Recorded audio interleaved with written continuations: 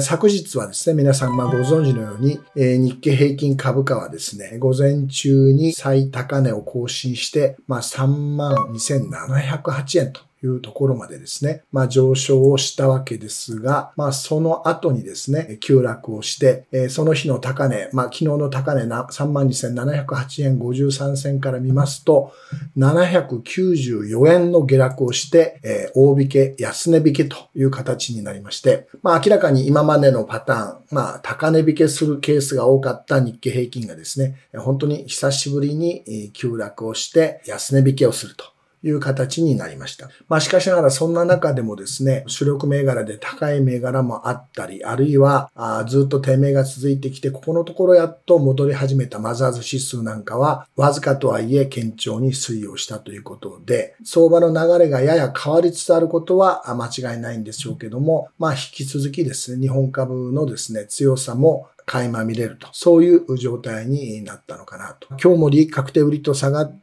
たら買う勢力との綱引き相場ならば今日も値幅の大きな一日ですかね。まあ、いずれにしてももう3万2千円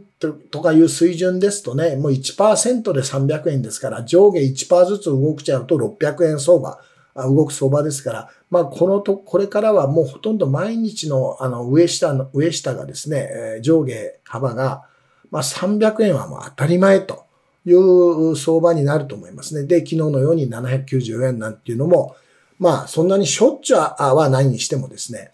まあ、ある程度そういうことも想定されてくると。まあ、よくあの、最大の下げ幅とかって、今年最大とかで、それは今年一番上がったところから同じ比率なら最大になるに決まってるわけで、率と幅をですね、まあ、同時に論じたらですね、まあ、論理的ではないですよね。のりまさ様おはようございます。マザーズにお金が流れてきました。そうですね。良い流れだと思います。おっしゃる通りですね。やっぱりマザーズ銘柄の中には非常にやっぱり割安でいい銘柄もたくさんありますし、まあ IPO して間もない会社でもよくわからないであんまり変わらずにほったか、ほっとかれてる銘柄だってありますのでね。そういうところが動き始めたらまた個人で投資してる方のマネーがうまく流れ始めると。そうなると全体として株式のまあ流れが良くなるということになると思いますので、まあよろしいんじゃないかと思いますね。はい。テラポーチャンネルさんは、竹さんのチャンネル探すのに他のサムネイル見えますが、中身は見ませんが、日経が下がれば急落、上がれば急騰の文字が踊っています。こんなことは誰でも言えます。守備一貫、竹さんのチャンネル素晴らしい。いや、ありがとうございます。昨日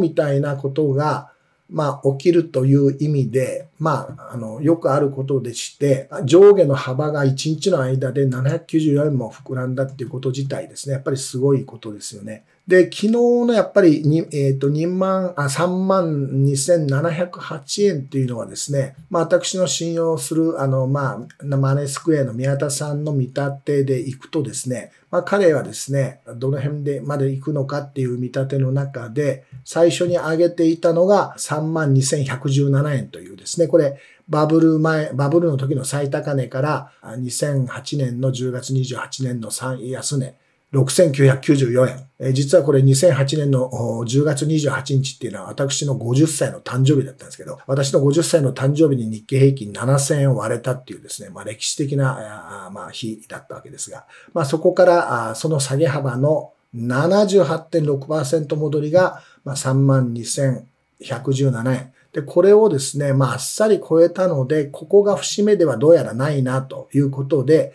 まあ、彼が挙げてる節目のもう一つの節目がですね、